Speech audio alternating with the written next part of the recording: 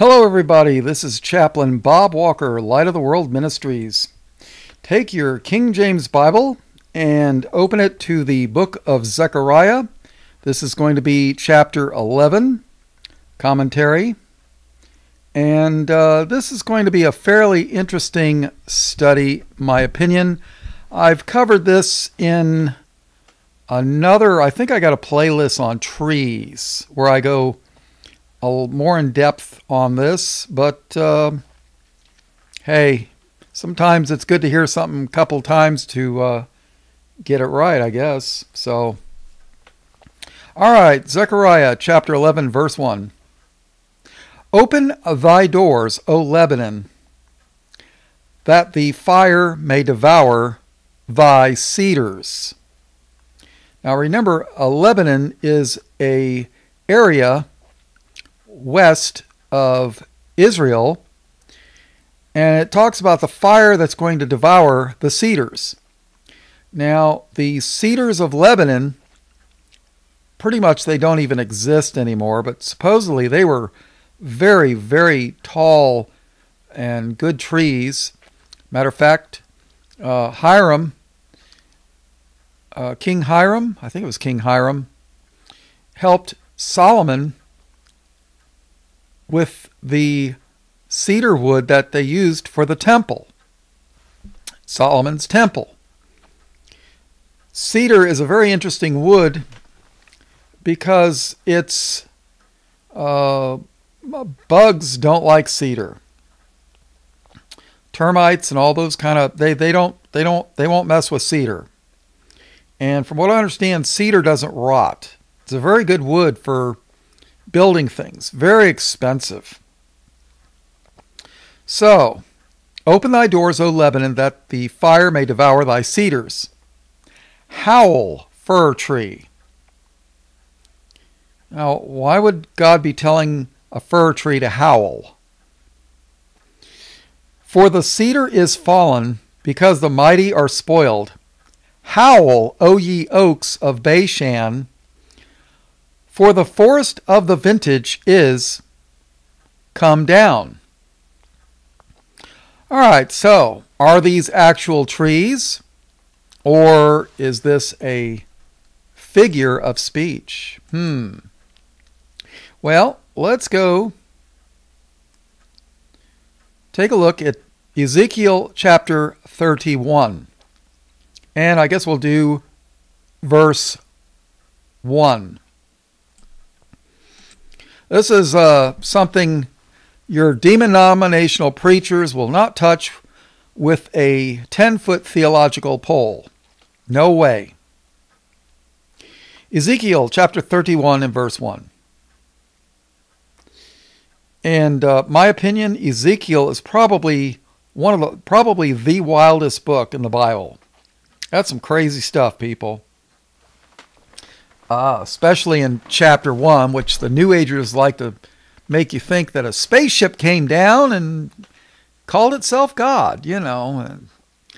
But I don't listen to New, to New Agers. Studied them a little bit, been there, done that, didn't get a t shirt. What can I tell you? And it came to pass in the eleventh year in the eleventh year, in the third month, in the first day of the month that the word of the Lord came unto me, saying, Son of man, speak unto Pharaoh, king of Egypt, and to his multitude, Whom art thou like in thy greatness? Now remember, Egypt was a great world power at one time. The Nile River supplied water to uh, their lands.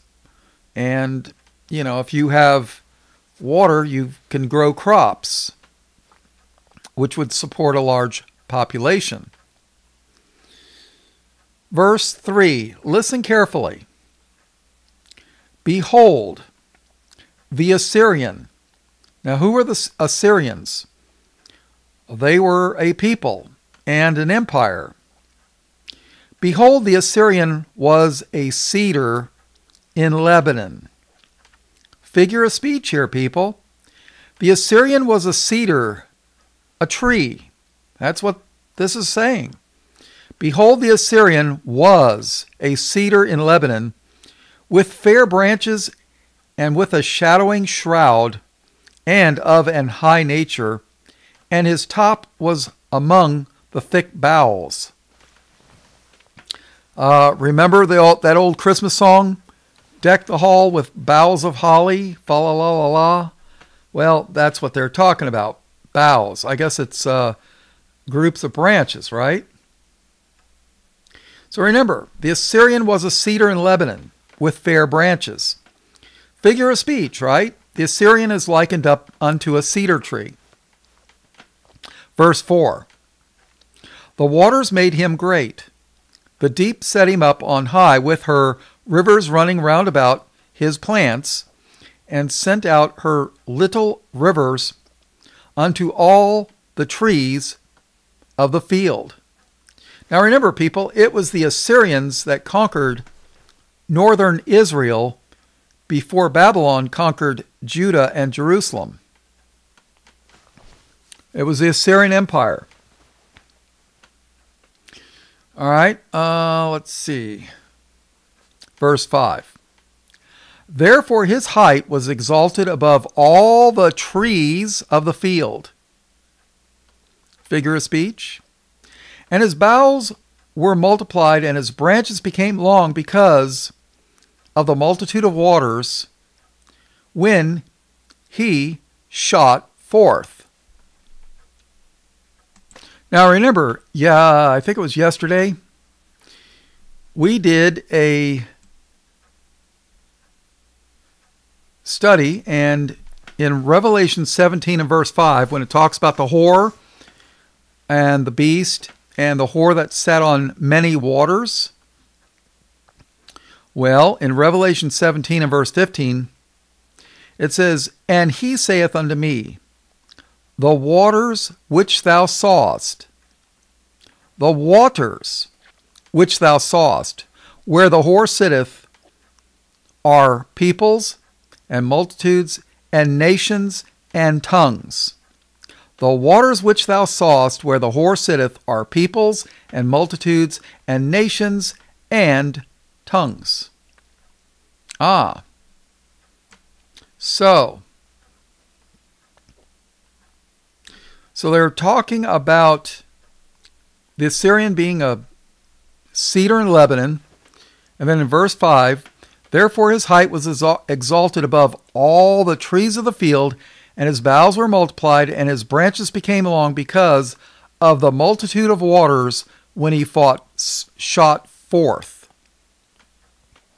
Just something to consider.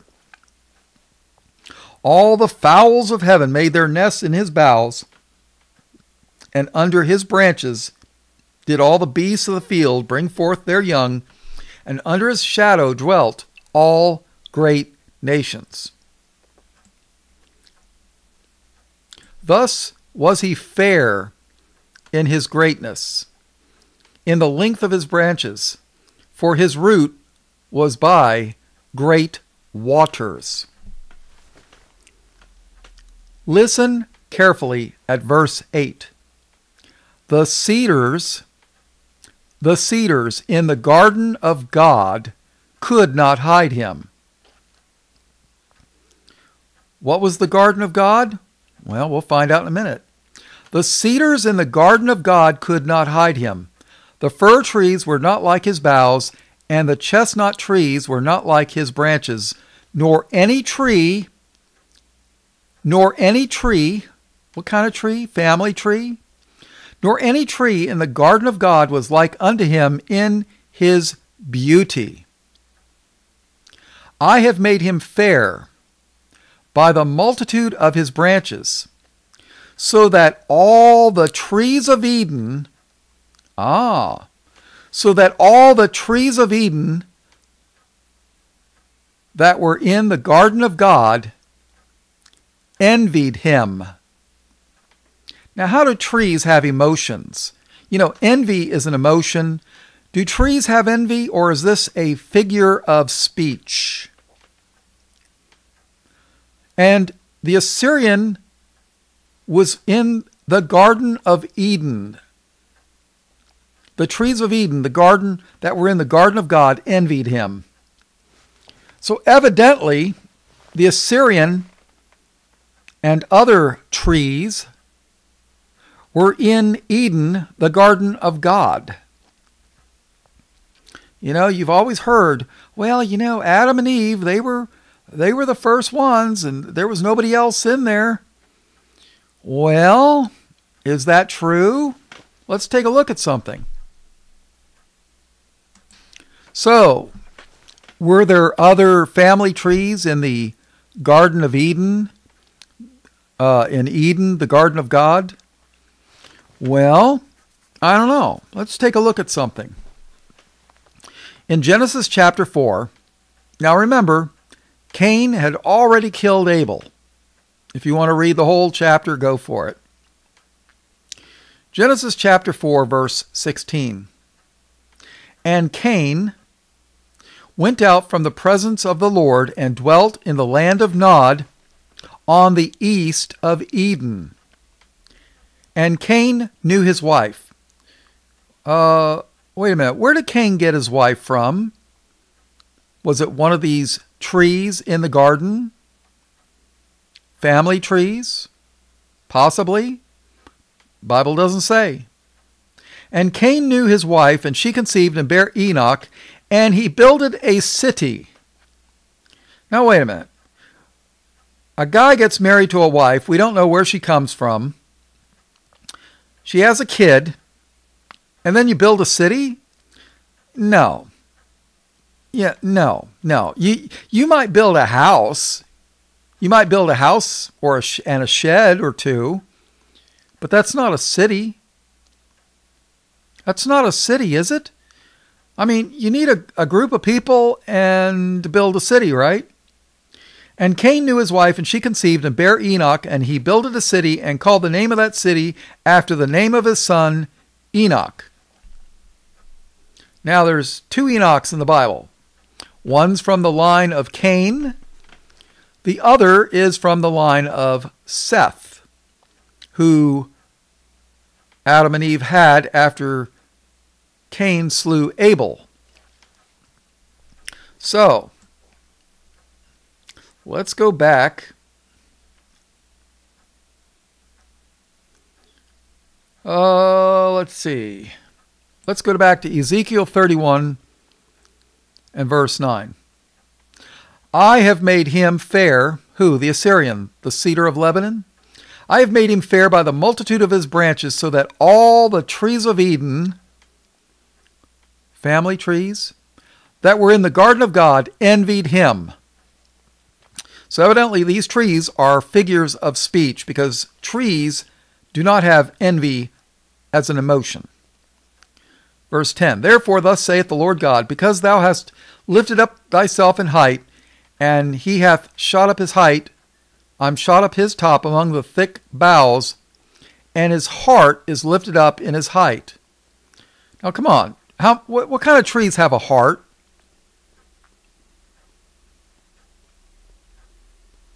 I have therefore delivered him into the hand of the mighty one of the heathen. Ah, that was the Babylonians. He shall surely deal with him. I have driven him out for his wickedness. How can trees be wicked? How can you drive trees out for wickedness? Figure of speech, people. You know, when Jesus is called the Lamb of God, it's a figure of speech. He didn't have four legs and a tail and go, bah! Sorry. Of course, when he comes back as the King of Kings, as the Lion of the tribe of Judah, there could be some roaring. Um, I don't know. We'll find out, won't we?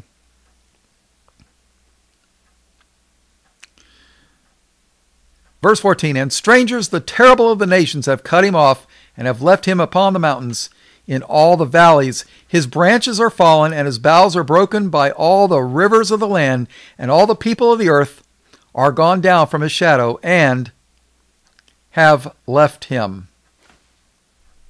Huh. So, sometimes when uh, let's see.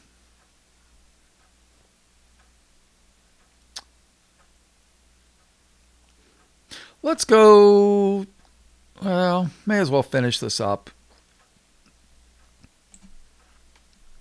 Verse 13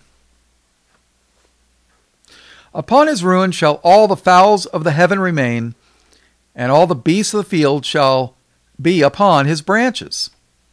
To the end that none of all the trees by the waters exalt themselves for their height, neither shoot up their top among the thick boughs, neither their trees stand up in their height, and all that drink water, for they are all delivered unto death, to the nether parts of the earth in the midst of the children of men, with them that go down to the pit, the nether parts of the earth, the pit. That's hell, people. Thus saith the Lord God, in the day when he went down to the grave. Now there's three words for hell. Grave's one of them. And then uh, there's hellfire. And then there's uh, a Greek word called Tartarus, which is where the fallen angels are, the ones that sinned. Oh, yeah. Uh, so, and like I mentioned before, the Jehovah's Witnesses love to take that first definition and say, see, see, hell. It means the grave. Well, you know, sometimes words have more than one meaning.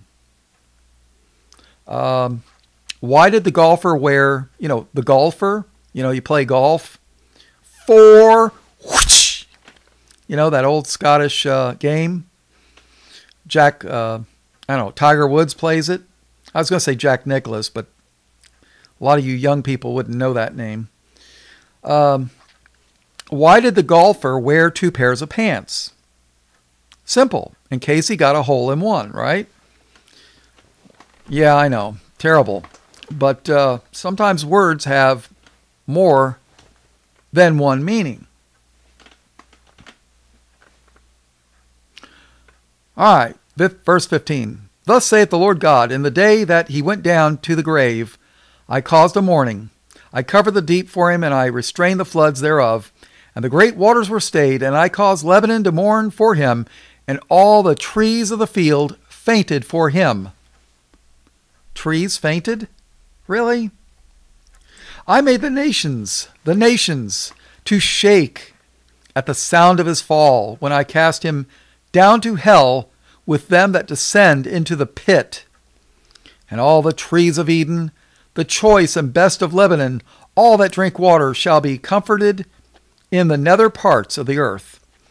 They also went down into hell with him unto them that be slain with the sword, and they that were and they that were his arm that dwelt under his shadow in the midst of the heathen. To whom art thou thus like in glory and in greatness among the trees of Eden? Yet shalt thou be brought down with the trees of Eden unto the nether parts of the earth. Thou shalt lie in the midst of the uncircumcised with them that be slain by the sword. This is Pharaoh and his multitudes, saith the Lord God. Huh. Kind of interesting, huh? All right, let's take a look at something. Let's go to Genesis chapter 2. All right, Genesis chapter 2. Let's go to skip to verse 7. And the Lord God uh, formed man of the dust of the ground, and breathed into his nostrils the breath of life, and man became a living soul. And the Lord God planted a garden eastward in Eden, and there he put the man whom he had formed. And out of the ground made the Lord God to grow every tree that is pleasant to the sight and good for food, the tree of life also in the midst of the garden, and the tree of knowledge of good and evil. Now, really good question here. You got a tree of life, and you got a tree of knowledge of good and evil. Are these actual trees, or is this also a figure of speech? I kind of wonder if the tree of knowledge of good and evil was Satan himself. I kind of wonder. I'm not telling you to believe that because I'm not 100% sure either way. And the tree of life. Is that Christ or is that an actual tree? Well, let's go to Revelation 22. That's at the very, very end of your Bible. Revelation 22, verse 1. And he showed me a pure river of water of life, clear as crystal, proceeding out of the throne of God and of the Lamb. In the midst of the street of it, and on either side of the river, was there the tree of life, which bare twelve manner of fruits, and yielded her fruit every month, and the leaves of the tree were for the healing of the nations. Huh. So, is this an actual tree? Kind of looks like it to me. Sometimes I'm kind of a look at it and say, I wonder if that's actually a figure of speech for Christ himself. I don't know. All right, let's go read Zechariah 11. May as well start at verse 1. Open thy doors, O Lebanon, that the fire may devour thy cedars. Ah, does that make sense now? Are we talking about a forest fire? Verse 2 Howl, fir tree, for the cedar is fallen, because the mighty are spoiled. Howl, O ye oaks of Bashan, for the forest of the vintage is come down. There is a voice of the howling of the shepherds, for their glory is spoiled a voice of the roaring of young lions, for the pride of Jordan is spoiled. Now, I think these are false shepherds. Verse 4 Thus saith the Lord my God, feed the flock of the slaughter. Feed the flock of the slaughter whose possessors slay them and hold themselves not guilty. Oh yeah, they they kill these people and then they say, I'm not I'm innocent, I'm not guilty. And they that sell them say, Blessed be the Lord, for I am rich. And their own shepherds pity them not. Boy, that sounds like uh, Billy Graham or uh, Joel Osteen I'm rich. And you know what? Those kind of people, if they saw a homeless person, you think they'd buy him a sandwich, take five or ten bucks out of their pocket on their way to the airport to get their $60 million Learjet and fly halfway across the country? Don't count on it. For I am rich, and their own shepherds pity them not.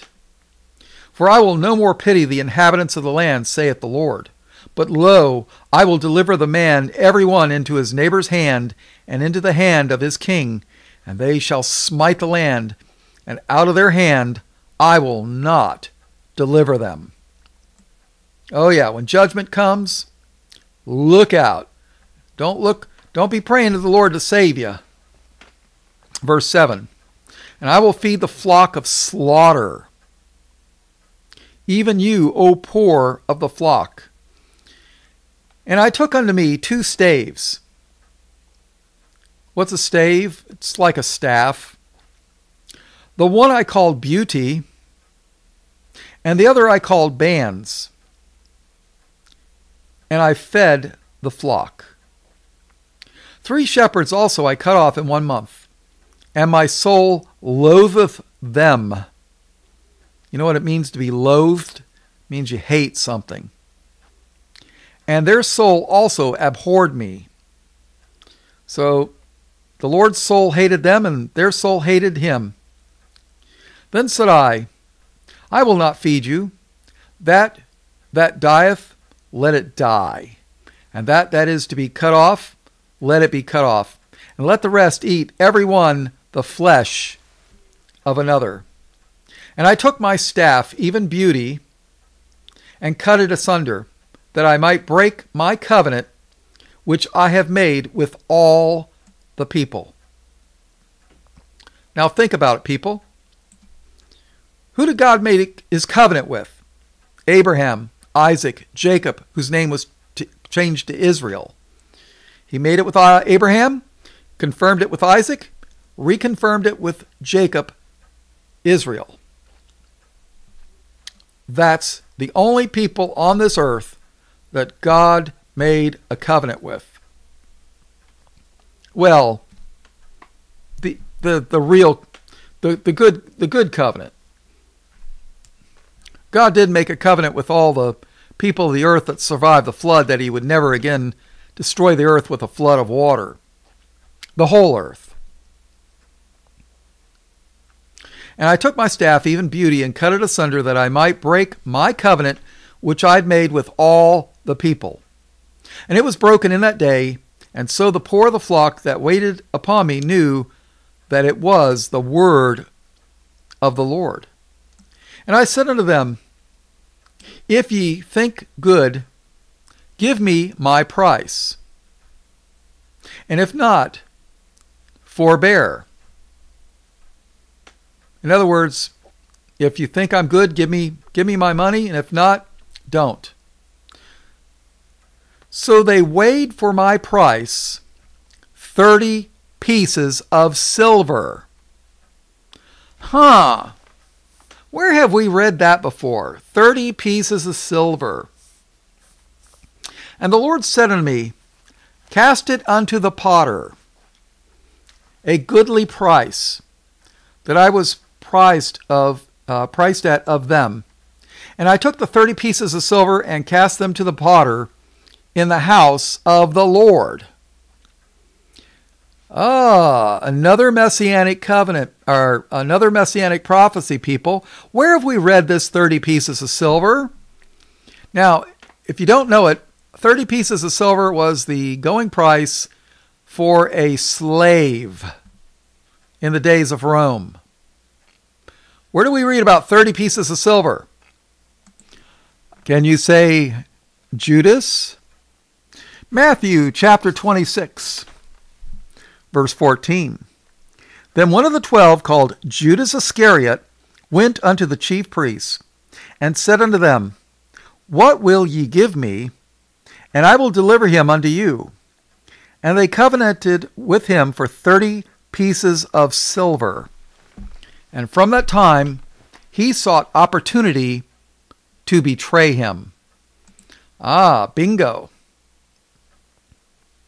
All right, let's go to Matthew 27. All right, let's go to Matthew 27. So, Judas said, Hey, 30 pieces of silver, I'll betray him, no problem. Matthew 27 1 When the morning was come, all the chief priests, not Catholics, and elders of the people took counsel against Jesus to put him to death. Oh, yeah, it sounds like the Romans, huh? And when they had bound him, they led him away and delivered him to Pontius Pilate the governor.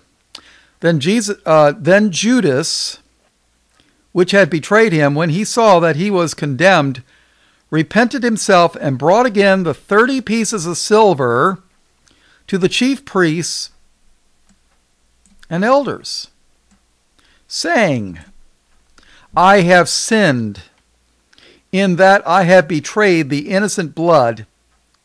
And they said, What is that to us? See thou to it. Ah, boy. I guess, uh, I guess that's basically they're saying, uh, well, well, that doesn't doesn't matter to me, you know, big deal. So what? Verse 5. And he cast down the pieces of silver in the temple and departed and went and hanged himself. And the chief priest took the silver piece and said, and said, It is not lawful for to put them into the treasury because it is the price of blood. So here it is, they had conspired to have Christ put to death innocently, committed murder, and they're worried about putting 30 pieces of silver back into the treasury because they might break some stupid rabbi's rule. And they took counsel and bought with them the potter's field to bury strangers in. Wherefore, that field was called the field of blood unto this day. Then was fulfilled that which was spoken by Jeremy the prophet, saying, And they took the thirty pieces of silver, the price of him that was valued, whom they of the children of Israel did value, and gave them for the potter's field as the Lord appointed me. All right, let's go back to Zechariah. Verse 12, 11 and verse 12. And I said unto them, If ye think good, give me my price, and if not, forbear. So they weighed for my price thirty pieces of silver. And the Lord said unto me, Cast it unto the potter, a goodly price. And I was priced of uh, at of them, and I took the thirty pieces of silver and cast them to the potter in the house of the Lord. Then I cut asunder mine other staff, even bands, that I might break the brotherhood between Judah and Israel. See, I've been teaching that for a long time. Judah and Israel are not the same. Then I cut asunder mine other staff, even bands, that I might break the brotherhood between Judah and Israel. And the Lord said unto me, Take unto thee yet the instruments of a foolish shepherd. For lo, I will raise up a shepherd in the land, which shall not visit those that be cut off, neither shall seek the young one, nor heal that that is broken, nor feed that that standeth still. But he shall eat the flesh of the fat and tear their claws in pieces. Woe! Woe to the idle shepherd that leaveth the flock. The sword shall be upon his arm and upon his right uh, eye. His arm shall be clean dried up. His arm shall be clean dried up, and his right eye shall be utterly darkened. Some Bible scholars say that this uh, reference to the right eye be utterly darkened has reference to the man of sin, the son of perdition, the Antichrist, the beast of the book of Revelation. Wouldn't surprise me. Wouldn't surprise me at all. All right, everybody, that's the end. Um, like this is uh Oh, John 8 12, we read, Jesus said, I am the light of the world. He that followeth me shall not walk in darkness, but shall have the light of life. All blessings, praise, glory, and honor to God the Father and his only begotten Son, Jesus, who is the Christ, the Lamb of God slain from the foundation of the world. In Jesus' name, amen.